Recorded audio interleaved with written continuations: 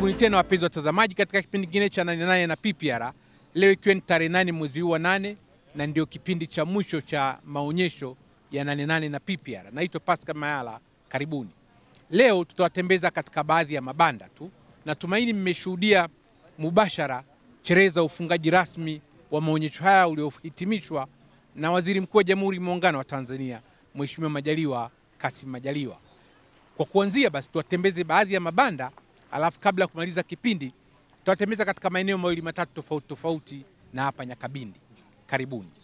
Leo tumepita tena katika yale mabanda ya Wizara ya Kilimo ASDP2, na tuna ofisa wa ASDP2 atatutambulisha kidogo na kututembeza baadhi ya maeneo machache hapa ndani. Nakushukuru sana. SDP2 ni kifupi cha Agriculture Sector Development Program, ni awamu ya pili, kwa Kiswahili wanaita programu ya kuendeleza sekta ya kilimo. Yenyewe inatekelezwa na serikali, washirika wa maendeleo pamoja na sekta binafsi.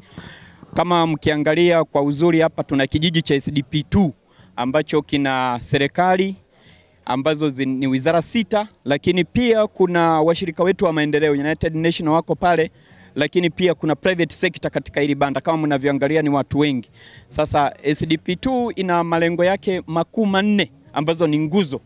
Labda kabla ya kwenda kwenye malengo, niseme tu kwamba tumpongeze uh, Rais wa Jamhuri ya Muungano Mheshimiwa John Pombe Magufuli kwa kuzindua hii programu ambayo alizindua tarehe 4 Juni mwaka 2018 na katika eh, maelekezo yake alisema kwamba eh, SDP2 itekelezwe na wadau wote wote katika mnyororo wa thamani ambao ni serikali, private sector pamoja na washirika wetu wa maendeleo. Sasa malengo makuu manne ya SDP2 eh, la kwanza ni kuhakikisha usimamizi endelevu wa matumizi bora ya ardhi pamoja na maji.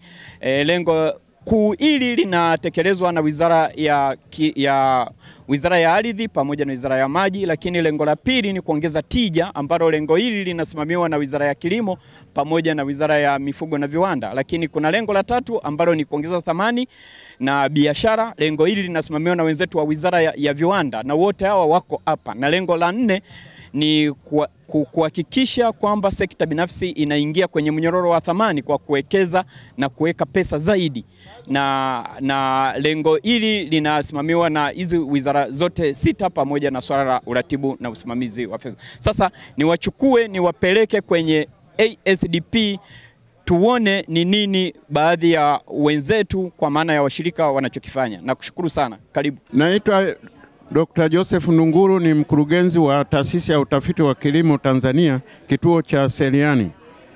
Na sisi kama TARI tumejipanga kufanya utafiti ambao unatatua changamoto mbalimbali za wakulima. Moja ya changamoto zinazowakabili wakulima wetu ni tija ndogo, na hili ni lengo vile vile la mm, mpango wetu wa ASDP2.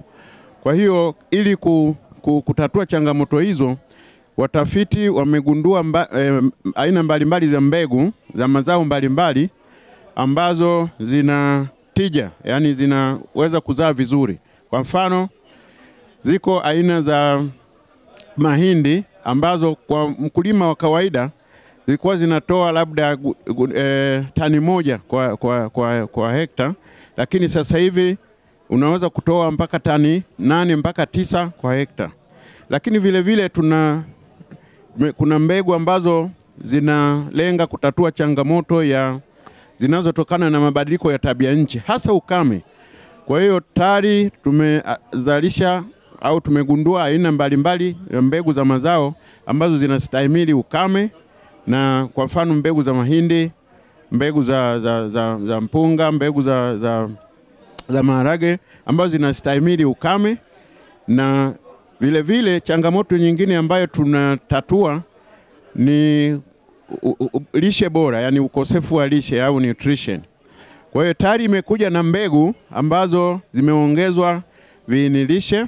Kwa mfano, kuna mbegu za maharage, kituo kama cha Seliani kimezalisha aina kumi na tano za maharage, na kati ya hizo ni mbegu ambazo zina zimeongezwa virutubisho aina ya mbegu za maharage kama vile Jessica ina kiwango kikubwa cha madini ya chuma na zinc, na maharage haya yanafaa sana kuongeza au kuboresha afya ya walaji.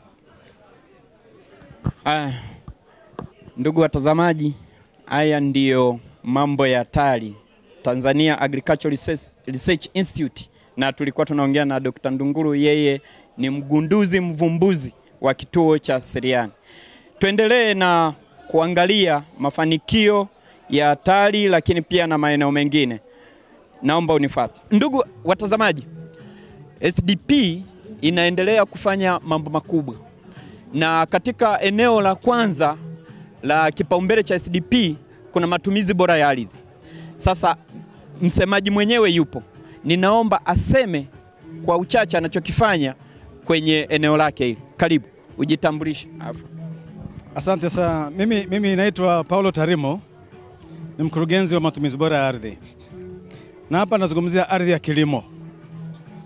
E, kimsingi kilimo ndicho kinacholisha Watanzania, na ili kiendelee kulisha Watanzania lazima kiendelee kuzalisha chakula cha kutosha.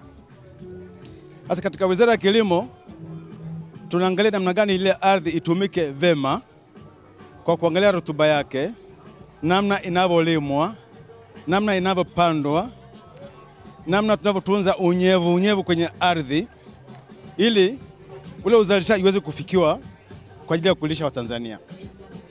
Na kiujumla hatujaona ardhi ya kilimo ambayo kwa nchi nzima inatambuliwa rasmi. Kwa hiyo kupitia mpango wa SDP tunalenga kwa kweli tuangalie namna gani ardhi ya kilimo kwa nchi nzima itapimwa iweze kupangiwa matumizi sahihi ya kilimo ili kwa kizazi kijacho nchi isikose ardhi kwa ajili ya kilimo. Hiyo ndio lengo kubwa kwa kweli. Nashukuru sana. Uh, mi, kat, ndani ya SDP2 uh, tuna hizi zinazoitwa taasisi za kifedha uh, financial institution. NBC wamekuwa ni wadau wetu wakubwa ndani ya SDP2 katika kuhakikisha wajasiriamali wadogo wadogo wanapata mikopo. Sasa mimi sitakuwa msemaji mkuu, hebu tuingie tuone ni nini ambacho NBC wanawasaidia wajasiriamali hawa, na ndani tunakutana na Kizubi Food Trading Company ambapo tunamkuta e, mtaalamu mwenyewe atatuambia NBC wamemsaidia nini. Asante. Kwa majina anaitwa Tekla Dismas Mongela. Nashukuru sana kwa kunitembelea katika meza yangu hii. Mimi nina kiwanda viwanda vidogo vidogo, ni wajasiriamali ambao tumewezeshwa na benki ya NBC. Kwa kweli tuna mafanikio makubwa sana. Benki hii imetunufaisha mambo makubwa. Sisi tulikuwa ni wakulima wauza mahindi, lakini baadaye yale mahindi tumeona tuyabadilishe kuwa unga. Sisi tunatengeneza sembe na dona. Tuko Shinyanga mjini na kiwanda chetu kinaitwa Kizumbi Food Trading Company. Karibuni sana. Sisi ni wajasiriamali ambao tumewezeshwa na benki yetu ya NBC. Asanteni. Um, wakati huo huo tunasema kwamba karibuni NBC. Hawa watu ndani ya dakika kumi unaweza kupata kadi yako. Sasa hapa kuna mjasiriamali mwingine uh, Saniko, angalia shughuli anazozifanya ni hii ina, inaonyesha ni kiasi gani NBC inawasaidia wajasiriamali wadogo wadogo, lakini pia kuna shughuli inaendelea hapa ya usajili. Jana nilijisajili kwa dakika kumi, lakini hebu tumsikie mtaalamu kidogo anasemaje, shughuli anayoifanya ni nini na wanachukua muda gani kujisajili. Um, naitwa Kelvin, mfanyakazi wa NBC huduma kwa wateja. Katika banda hili una uwezo wa kufungua akaunti ndani ya dakika 15 ukapata ATM kadi papo hapo, na akaunti ambayo tunafungua hapa inaitwa NBC Fast Accounting. Karibuni. Tunashukuru sana, mambo makubwa ya, ya NBC. Jamani, karibuni NBC. NBC ni wadau wakubwa wa ICDP2. Karibuni wote, asante. Tuko kwenye banda la TPRI ambalo hapa, hapa mbele mtaona kuna vitu vingi vingi ambavyo mimi siwezi kuvitaja, lakini tuna ofisa wa TPRI atajitambulisha jina, ata introduce TPRI na kusema wameleta nini kwenye nane nane hii. Asante Pasco. Uh, kwa majina anaitwa Dr. Margaret Molel, ni kaimu mkurugenzi mkuu TPRI. Uh, TPRI ni taasisi inayofanya utafiti wa viuatilifu vya kudhibiti visumbufu vya mimea eh, maana ya mazao, mifugo pamoja na wale visumbufu ambavyo vinaambukiza magonjwa kwa binadamu. Uh, katika banda letu la maonyesho Nane Nane hapa Simiyu tumeleta vitu tumeleta ma, ma, mabango yanayoonyesha wakulima uh, hatua za kufuata kama unataka kujisajili uh, kuuza kufanya biashara ya viuatilifu. Vile tumeleta mabomba yanayonyunyuzia viuatilifu na kuwaonyesha njia sahihi pamoja na vile vinyunyuzi yani nozzles, kwa sababu kila kisumbufu kina nozo yake e, e, special kwa ajili ya, ku, ya kunyunyuzia kiuatilifu. Vile vile tumeleta aina ya magugu ambayo ni yanasumbua sana sasa hivi nchini. Kuna gugu karoti pale linaonekana, kuna chabango ambayo anajulikana kama Chromolina odorata. Magugu haya kwa kweli yanasumbua sana wakulima hasa nyakati za karibuni. Vile vile tumeleta mahindi ambayo yameshambuliwa na viwavijeshi vamizi, na hii yote ni kuwaonyesha wakulima hatua za uvamizi na hatua gani na dawa gani ya kutumia katika kila hatua. Vile vile tuna vipeperushi ambavyo vimeandikwa kwa lugha ya, ya Kiswahili ambayo ni lugha rahisi sana, mkulima anaweza akajifunza njia za kuweza kudhibiti uh, visumbufu hivi na dawa za kuweza kutumia. aa, na vile vile kama unavyoona hapa juu kuna mitego ya viwavijeshi ambayo eh, orijini yake ni nchi za nje, lakini hapa nchini tumeweza kutumia plastiki za bei rahisi tu ambayo mkulima anaweza akaweza kununua kwa bei ya kama elfu tatu mpaka elfu tano na mitego hii inashika yale madume ya viwavijeshi. Kuna ile harufu ambayo inavutia madume, sasa inawekwa huko ndani. Kwa hiyo dume akija anafikiri kuna jike na badala yake anatumbika kule na, na wanakufa. Na kwa njia hiyo ni nzuri sana, kwa sababu dume moja linaweza likaweza kuzalisha uh, nini majike mpaka mia mbili. Kwa hiyo ukiweza kuyashika kumi, kwa kweli utakuwa umepunguza sana uh, ile population yao. Asante sana. Tunaendelea na kipindi cha nane nane na PPR, ikiwa leo ndio siku yenyewe ya tarehe nane mwezi wa nane, siku ya kilele cha nane nane. Nimerudi kwenye lile banda letu la kila siku la Agricom na leo nimemkuta boss, the boss lady. Naomba ujitambulishe, alafu tuambie Agricom nini na hapa mmeleta nini. Mimi naitwa Angelina Ngalula, ni mkurugenzi na mmiliki wa kampuni ya Agricom Africa.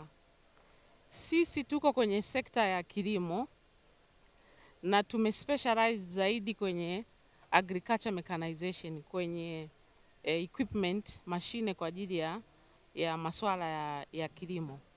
Mashine bora kabisa, tuna mashine za aina tofauti tofauti za, za maeneo tofauti tofauti, mazao mbalimbali. mbali.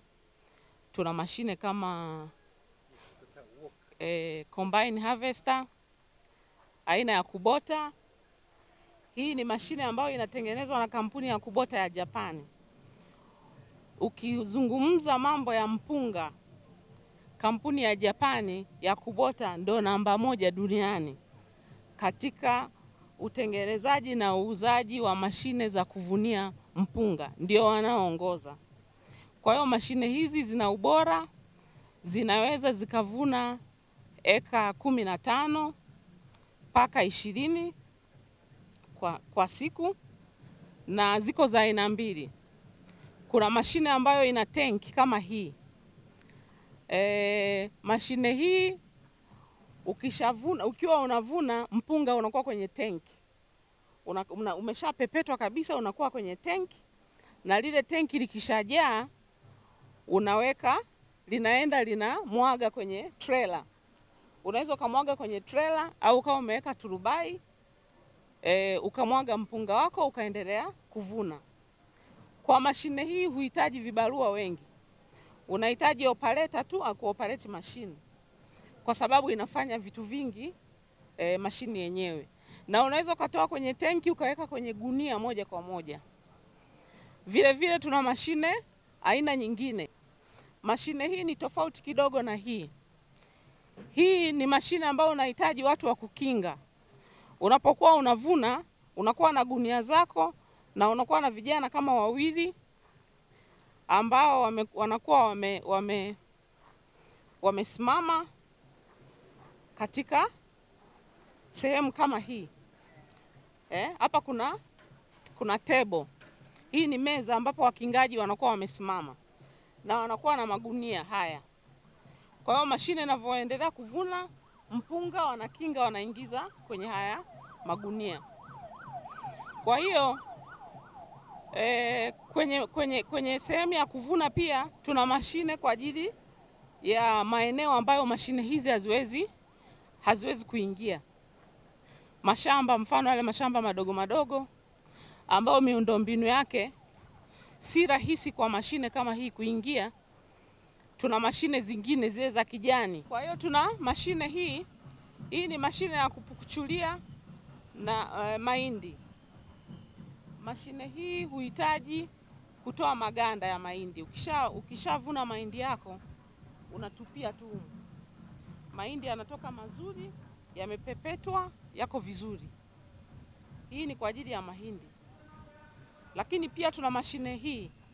Hii ni mashine ya, kupu, ya, ya, ya, kupiga, ya kupiga mpunga. Kwa hiyo unakuwa na watu wako wanakata, wakishakata unaweka humu, basi unapata mpunga mzuri ambao ume, ume, umepepetwa. Lakini vile vile tuna mashine kwa ajili ya sekta ya mifugo, kwa ajili ya kukatia majani na kufunga majani. Hii inaitwa bela. Eh, hivi vifaa vitatu hapa, hiki na hiki na hiki, vyote vinafanya kazi kwa pamoja. Hii inakata, hii ni kama fyekeo linakata majani, inaitwa slasher, inakata majani. Ikishakata majani, kuna hii inakusanya. Ikishakusanya, ile mashine ya tatu pale inayafunga.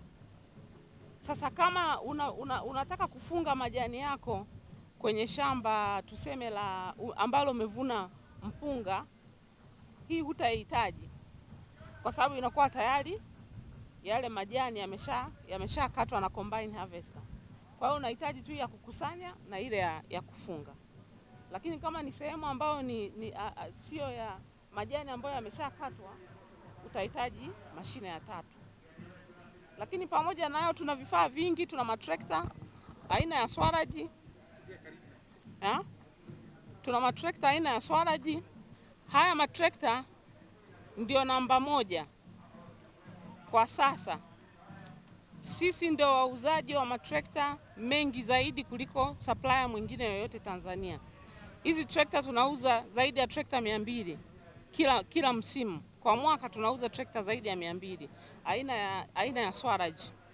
Ni trekta ambazo ni, ni, ni hazitumii gharama kubwa kwenye matengenezo, lakini hata bei yake ni bei nafuu.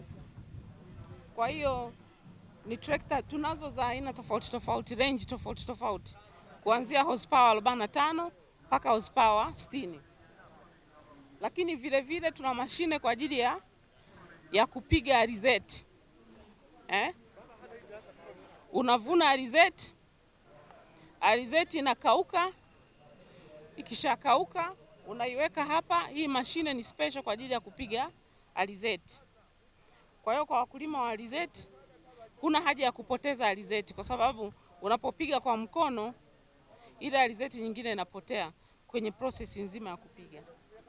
Lakini pia tuna mashine za kupandia na mashine nyingine nyingi tunazo hapa Agricom. Hii ni slogan eh, ya, ya, ya Agricom, Agricom Africa ni katika kuwahamasisha eh, Watanzania kuingia kwenye shughuli za kilimo, kwani tunaamini kwamba shughuli za kilimo zina fursa nyingi nyingi zaidi kuliko eneo lingine lolote e, katika shughuli mbalimbali, na sio lazima tu uende ukalime e, uchukue jembe au uchukue trekta uende ukalime. Fursa ziko nyingi, kumbe unaweza ukawa hata opaleta tu wa hii mashine ya, ya, ya, ya, ya, ya, ya kuvuna mpunga. Opaleta wa mashine ya kuvuna mpunga kwa Tanzania kwa sasa hivi analipwa shilingi elfu kumi kwa eka moja na kwa siku anaweza kuvuna mpaka eka kumi na tano. Sasa eka kumi na tano, unaona opaleta tu ambaye hajasoma hahitaji kuwa na driving license au kitu kingine chochote, ana uwezo wa kuingiza shilingi laki moja na nusu kwa siku. Sasa akifanya kwa, kwa msimu wa miezi mitatu, unaweza ukaona kabisa kwamba akimaliza, kama ni mtu ambaye anajitambua tayari anakuwa ameshapata mtaji wa kuweza kununua kitu kama pawatila akajiajiri mwenyewe, au akanunua mashine kama ile thresha ya kupiga eh, mahindi au kupiga mpunga akatoa service kwa watu wengine na akapata akapata akapata pesa. Kwa hiyo fursa ziko kwenye kwenye maeneo tofauti, maeneo mengi katika kilimo, lakini pia kwenye ufugaji ziko fursa nyingi, maeneo mengi tu kwenye ku- ku- kufanya process, kwenye trading, vitu vingi vingi vingi vingi sana. Kwa hiyo sisi tunasema kwamba fursa ziko kwenye kilimo, kwa hiyo unatakiwa ujiongeze, utoboe, utatokea shambani, usisubiri kutokea kwenye maeneo mengine. Kumbe shamba ndiko kwenyewe hasa kwenye fursa. Nasema Agricom kwa sasa hivi kwenye nane nane tunapatikana katika kanda zote, kanda ya Arusha, kanda ya Morogoro, e, tuko Mbeya, tuko hapa, tuko hapa Simiu, tuko Dodoma, lakini baada ya nane nane utatupata kwenye branchi zetu ambazo ni Dar es Salaam, Morogoro pale Merera, tuna Dodoma pale Kibaigwa, tuna Igurusi, tuna Kahama, kote huko tunapatikana. Na kote huko tunauza eh, vifaa lakini pamoja na spare parts zake zinapatikana katika maeneo hayo, na mafundi vile vile wanapatikana katika maeneo hayo ambayo nimeyataja, na tunatoa warrant ya mwaka mzima. Unaponunua kifaa chetu, tuna uhakika nacho mwaka mzima au masaa mia nne kwa combine harvester tunatoa mpaka masaa mia nne na hamsini. Kwa hiyo unakuwa huna wasiwasi, na kwa msimu mmoja unaweza ukafanya masaa mia nne yakizidi sana mia tano. Kwa hiyo mara nyingi msimu wa kwanza watu wanakuwa ndani ya warranty.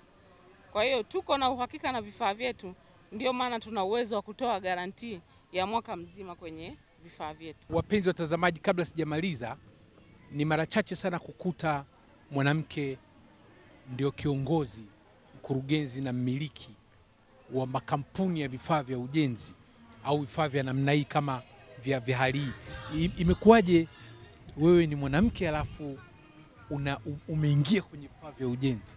Watu wameshazoea maboss ladies, mnakuwa na mnakuwa ni maboss kwenye mambo ambayo pia yanahusu wanawake zaidi, wakati tumeshazoea zaidi wanaume.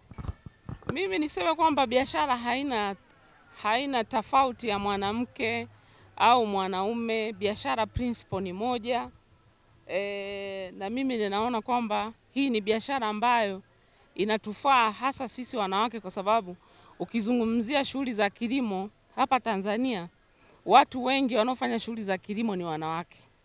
Kwa hiyo huku niko kwenyewe kabisa kwenye shughuli yangu hasa ambayo hata wazazi wangu walikuwa sana kwenye masuala ya kilimo. Kwa hiyo mimi naona kwamba hakuna tofauti yoyote ya mwanamke kuwa kwenye shughuli ya kilimo. Niko kwenye transport vile vile, ambayo na yenyewe inazungumzwa kwamba ni shughuli ya, ya, ya wanaume, lakini sioni utofauti kwa kweli, kwa sababu biashara ni biashara. Unafanya biashara upate faida, uwahudumie watu. Kwa hiyo naona ni vizuri kwamba kuwepo kwenye hii shughuli, ninapata nafasi nzuri sana ya kuwahudumia wakulima, especially wakulima wadogo wadogo, kwa sababu wateja wetu wengi sana wa Agricom si wateja wanaopita benki. Sisi tunadili na wateja ambao wanakuwa wamejikusanya pesa zao, wanakuja wanalipa, wananunua trekta. Kuna wengine wanakuja hela yenyewe haijatimia, e, amepungukiwa kidogo, bado tunatafuta namna ya kuaccommodate.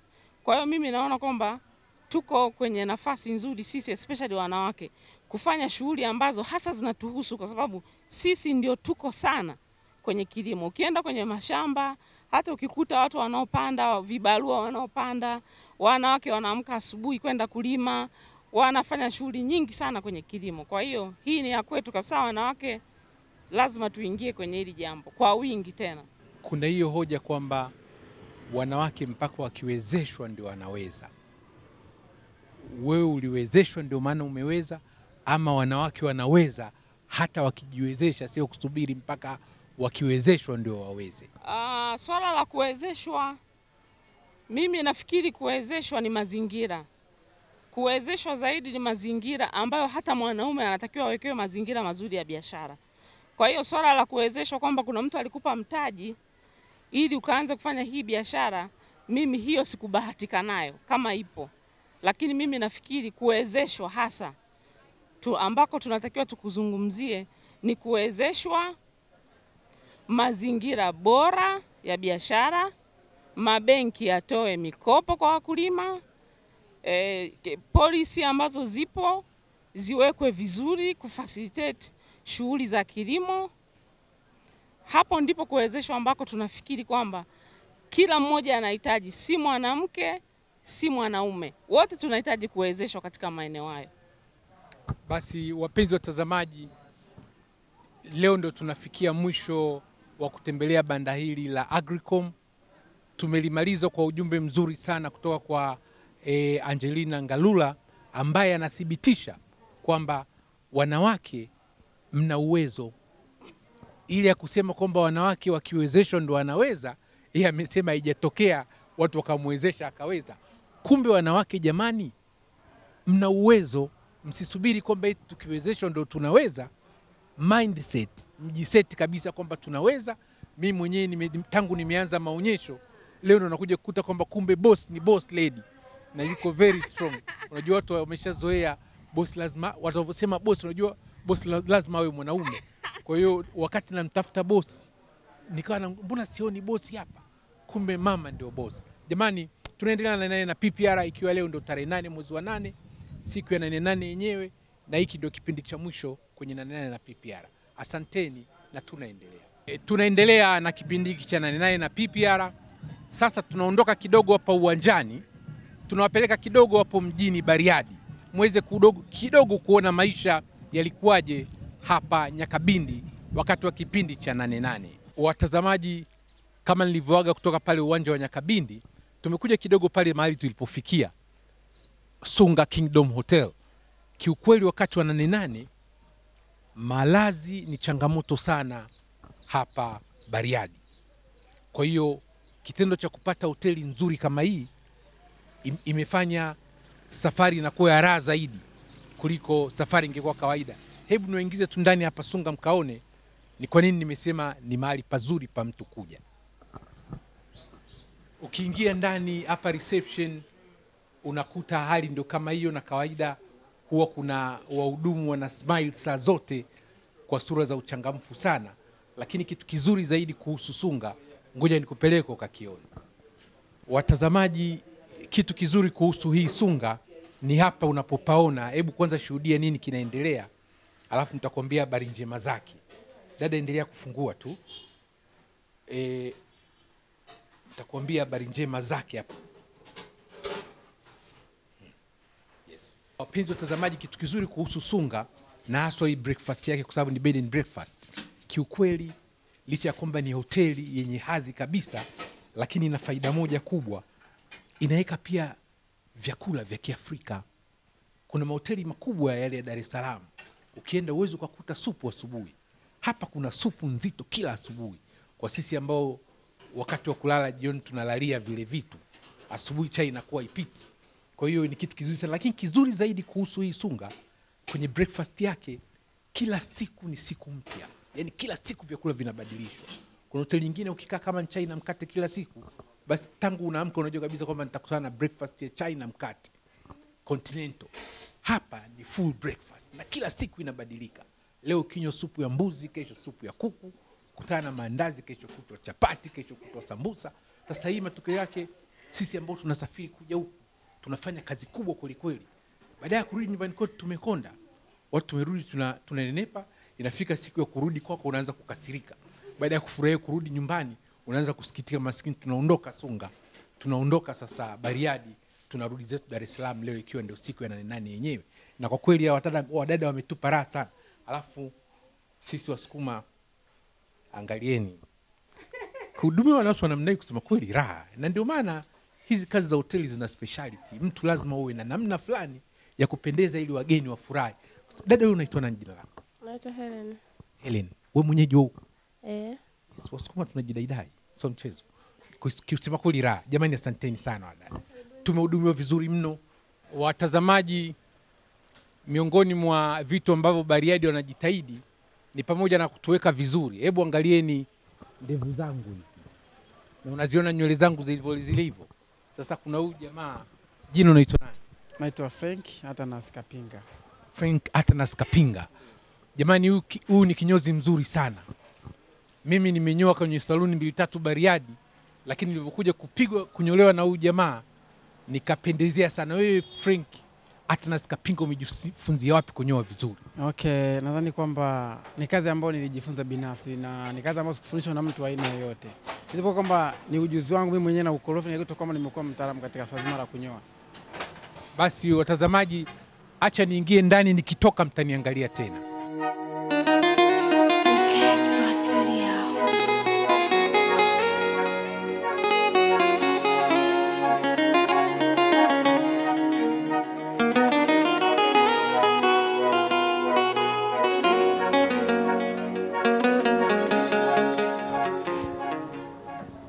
Watazamaji ha, hawa vijana yani huku Bariadi, angalia hata mivao yao.